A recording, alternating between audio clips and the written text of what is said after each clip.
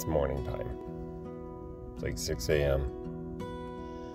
It was crazy. It's still crazy windy. There's just wind everywhere, rocking the truck around. How you feeling, Odie? You feeling good this morning? You want to go outside and go pee? Go get mountain lion? Go get mountain lion. Oh, yeah, this is my bedroom. This is where the magic happens. All right. Well, we got the system moving in. We got some cloud cover coming in from the west. Um, this is the last day of travel. The goal, at least for me, is get to Yuma and find ice cream because I want ice cream. Um, there's a lot of in between there, but that is yet to be determined. But let me show you what I found. Someone could identify this cactus for me, I really like it. I mean, the spines are just about as long as the segments they grow off of. Look how funky that is. Not, not crazy big either. Huh? But the color of those needles really caught my eye this morning. Mmm, the wonders of the world.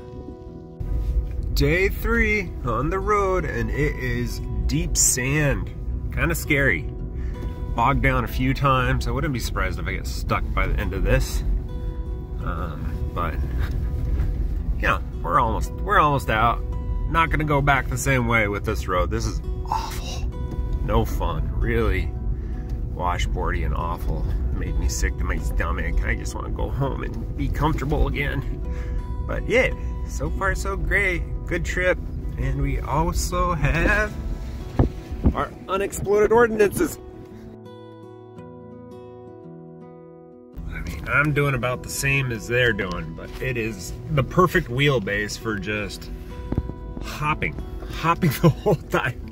We got a ways to go on this shit, and I can't go much slower. But they can. That's their ass. They'll they'll be towing me. So, oh boy. It can't always be butterflies and rainbows I mean, two days of fun driving, and then two hours of turning my innards into a butter churn. Oh my god, I should not have drank that much milk this morning. But there was no ice left, so I had to drink the milk. Eh, such is life. Well, I got good news and I got bad news. Good news is it's over. Bad news is it's over. And pavement, I'm scared, is just gonna be boring.